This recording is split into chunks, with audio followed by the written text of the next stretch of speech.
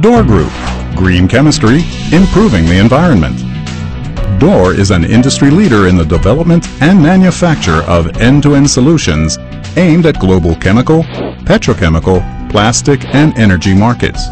At the forefront of Dor Group's enterprises is its commitment to and responsibility for the environment.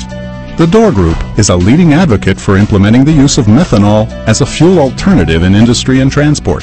The foremost contributor to urban pollution is the internal combustion engine. Exhaust emissions from vehicles result in the production of greenhouse gases and high levels of carbon emissions. This not only damages the urban environment by polluting the air, but is a cause of respiratory diseases. Household expenditure on gasoline has increased significantly, yet consumers have little or no options. The world monopoly on transportation fuels means that the quality and price are not what they would be if there was competition. Methanol is the cheaper, cleaner alternative. One of methanol's major contributions can be weaning the transportation industry from its dependence on crude oil.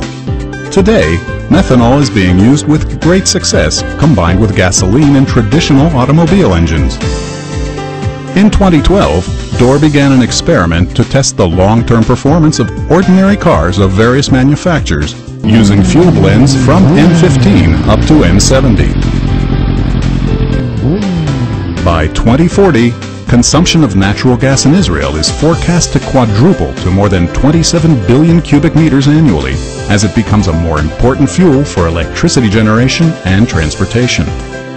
Dor is proposing a plant at Ramat Hovav for the production of methanol using locally produced natural gas. Most of this methanol will be blending stock for production of M15 grade gasoline. With a projected annual output of 500,000 tons, the plant will be built using state-of-the-art environmentally friendly technology. A clean plant with a minimal environmental impact. Dor Group's green chemistry provides the cleaner alternative.